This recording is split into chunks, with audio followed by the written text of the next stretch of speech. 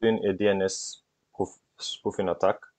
And to carry out this attack, I'm going to be using the Kali Linux virtual machine and uh, as my attacking machine and the Windows virtual machine as my victim machine.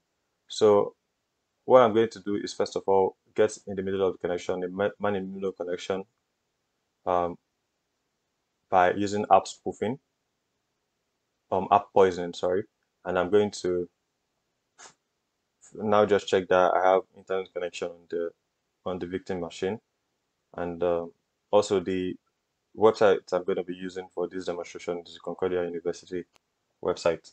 So now I go on to Concordia University on the victim machine and you can see I have access to, I can, I'm able to reach the Concordia University website. So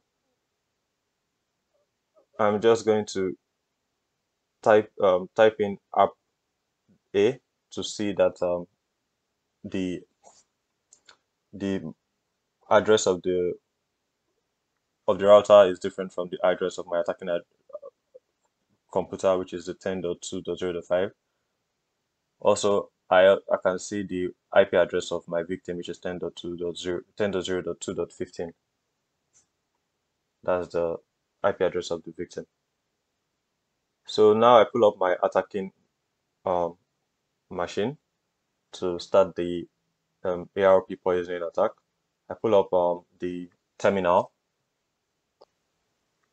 So the first thing I'm going to do is install the Apache web server on the attacking machine.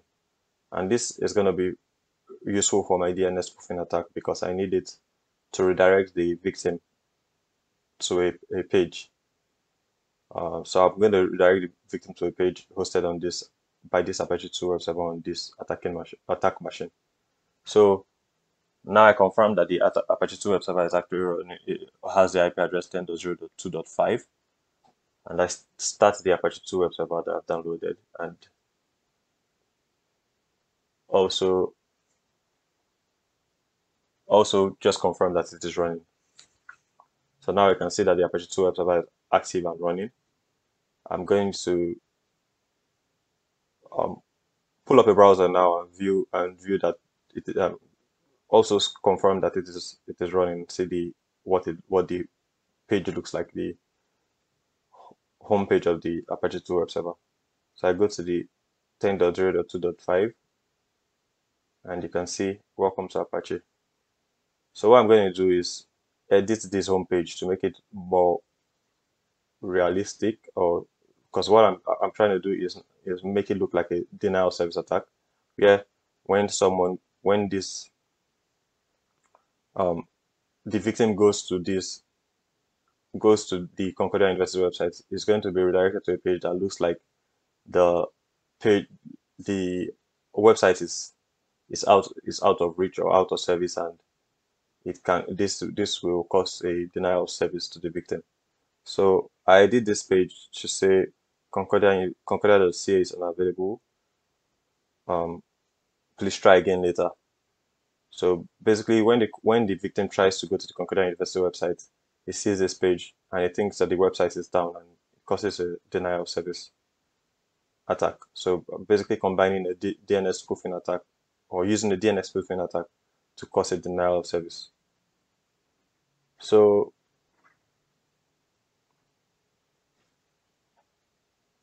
yeah, so I just changed the title of the website to Concordia University to make it more realistic. So now I'm, going to show you what it looks like. So this is what the um, the victim will see when the victim tries to go to the Concordia University website. And the victim will think the website is down. So now I can start my attack, the app poisoning attack, I use the Betacap, specify the interface at interface ETH0. So now I see that none of the modules are running. So I start turning on different modules. I first of all turn on the net.probe module to discover clients on on the network. And you can see it has discovered um, two clients. And it also turned on the net.recon module automatically which helps to detect responses and add IPs to lists. So now if I click type in net.show, you can see the um, list of, of clients that have been found on the network. And you can see the 10.0.2.15, which is going to be our victim for this uh, attack. So to use the help uh, app module, I, turn, I put on um, help, um, and you can see what I need to specify is the targets and also um, if I want to set full duplex to true or not. Full duplex basically uh, will create a complete man in the middle attack, but it's, it's not going to be successful if the if the router has ARP spoofing protections. But I'm just still going to try um, try try and because uh, the attack works best when full duplex is on. So also I set the targets as the victim IP address and um, with that I'm ready to turn on the ARP spoofing. I use the command ARP spoof ARP.spoof on. So now I can go confirm on the victim's machine that the attack is working properly. So what ARP spoofing is going to do is it's going to change the cache, the router's cache and the and the victim's cache to include my MAC, the MAC address of my attacking machine, so that when the router wants to talk to the um, when it wants when the router wants to talk to the victim, it sends it through my system. And when, uh, when through the the attacking system, and when the victim wants to talk to the router, it also sends it through the attacking system, and um,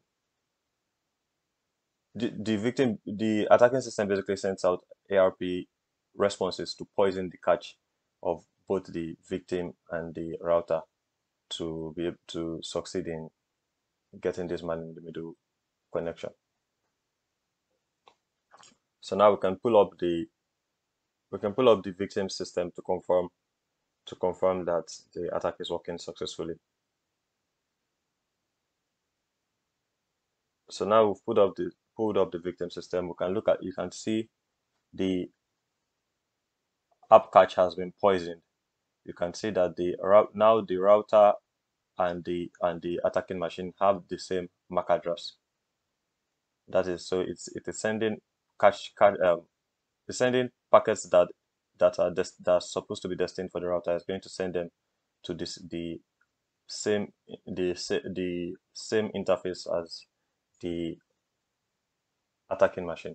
So now when we turn on net, we can turn on the net.sniff sniff module on the module on the on the attack, attacking machine, and this will help make us to be able to sniff uh, um, packets that the that the victim's machine is sending.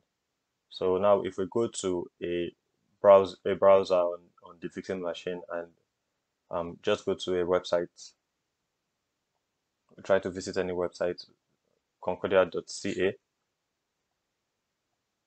we can see that the attacking machine is picking up the, this, the packets. Now that we have a man in the middle connection, we are able to carry out the DNS spoofing attack. So for that, we're going to use the DNS or spoof module. And we're going to set, first of all, the address, which is the in, set defaults to the interface um, address of the attacking machine. So we don't really need to set that. We set DNS.spoof all to true to set to allow or so so the module will reply to every DNS request. Then we also set the we set it to true. Then finally, we set the domains that we want the um, DNS request to to be responded um, responded to, and for that we have we use the concordia.ca domain, and also uh, use the wildcard to specify that every subdomain also to Concordia should be responded um, should be responded to DNS request for every sub for every every request to Concordia.ca and all the subdomains. So now we turn on the DNS spoof module and we can go to the we can go to the victim's um, machine to confirm that it is working.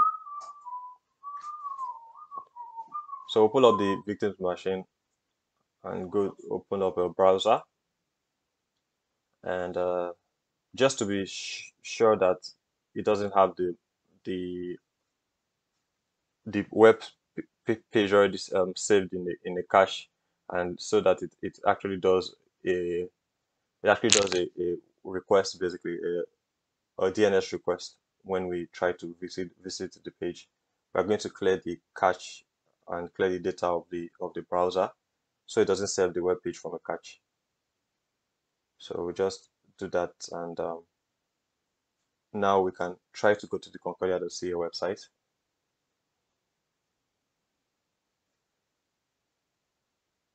And we get this page saying concordia.ca is unavailable. Please try again later.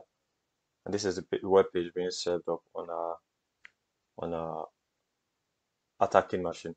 So the, this way, the victim thinks that the website is down and cannot go to, he is unable to visit the website.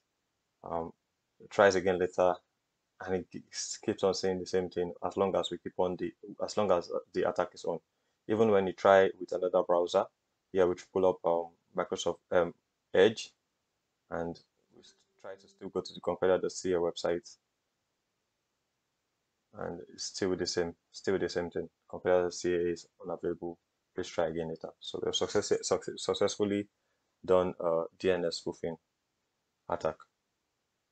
And basically, the way this attack works is when the victim wants to reach the Concordia.ca website, sends out a DNS request saying, I need the IP address for this website. And the attacking machine picks up that request and responds to it with its own IP address um, so the victim thinks that that IP address is the IP address of, of concordia.ca and it goes to that address and it's and that address is actually the um, address of the web server being served, being hosted on the on the victim. So you can use this attack for different things like redirecting to malware and all, but I just use it for uh, denial of service in this case. Thanks for watching.